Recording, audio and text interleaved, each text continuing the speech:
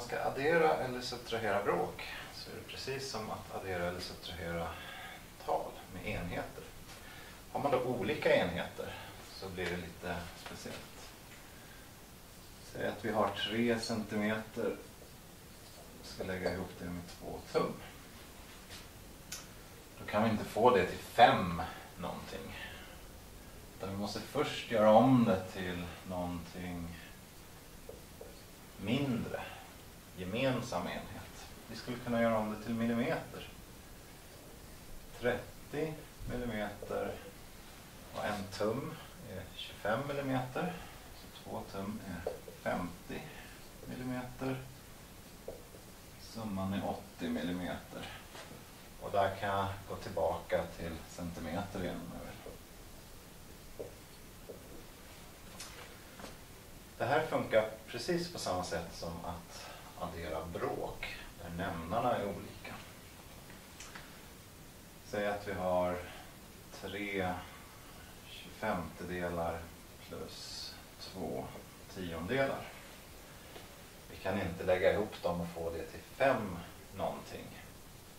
Så vi måste först förlänga bråken så att vi får en gemensam nämnare. På samma sätt som att enheterna blev mindre så kommer nämnarna att bli mindre. Eh, eller delarna kommer att bli mindre för att talen i nämnarna blir större. Jag kan förlänga med 10 här och med 25 här.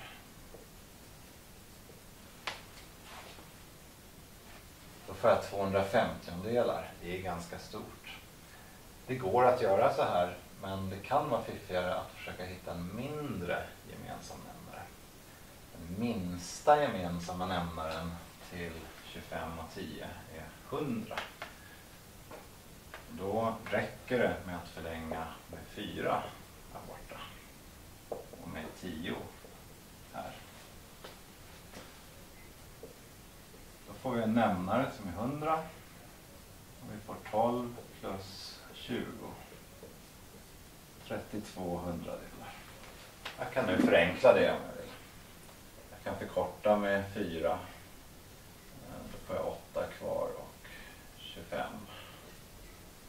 8 25 delar. Har vi algebraiska uttryck så fungerar det på precis samma sätt. Jag kan ta x genom y plus x plus 1 genom eh, i minus 1 till exempel.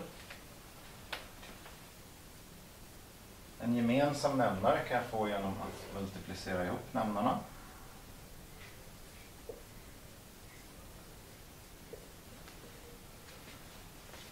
Och det har jag gjort då genom att jag egentligen förlänger med y minus 1 på vänster sida och med y på höger sida.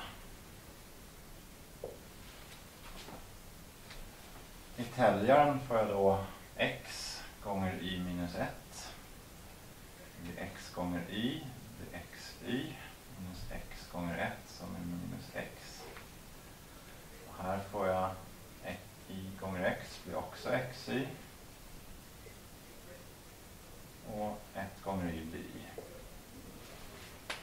Och efter att ha hyfsat det där lite grann så står det alltså fortfarande y gånger y minus 1 i nämnaren. Jag kan multiplicera ihop om jag vill. Och här har jag 2xy minus x plus y. Och vackrare blir det inte.